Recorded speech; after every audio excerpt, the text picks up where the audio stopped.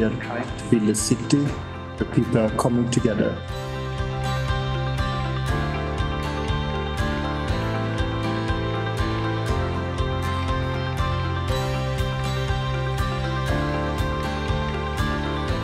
there's this recognition of the capacity of youth to become protagonists of change in their in their communities.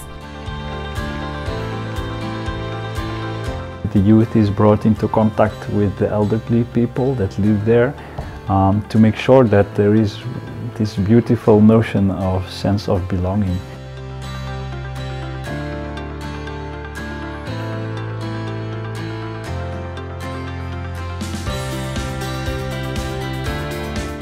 how can the local population be really seen as a co-creator of adaptation measures and climate justice? Climate action actually has a potential for, for creating uh, more connection within communities.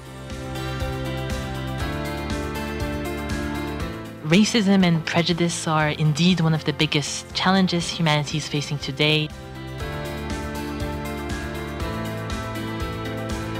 there is for sure no place for we and them in the European Union. There is only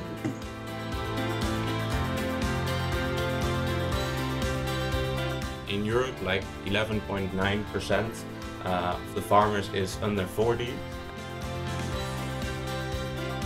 I think the choice to be a farmer is linked to um, a bigger social purpose.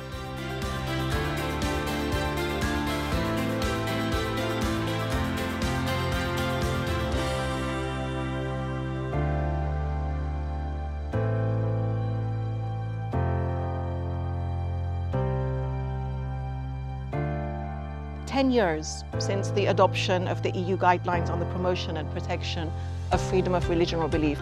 We are having now the 10th anniversary of our uh, guidelines. Die Nichtanerkennung einer Glaubensgemeinschaft, einer Religion, bedeutet, dass die Identität von Menschen aberkannt wird. The situation in Iran is dire. Persecution against the Baha'i community. I call on the Iranian regime to immediately release. To absolutely condemn the appalling. And strongly condemn Iran's actions against the Baha'i community. support to the Baha'i. Notre histoire. The situation in Iran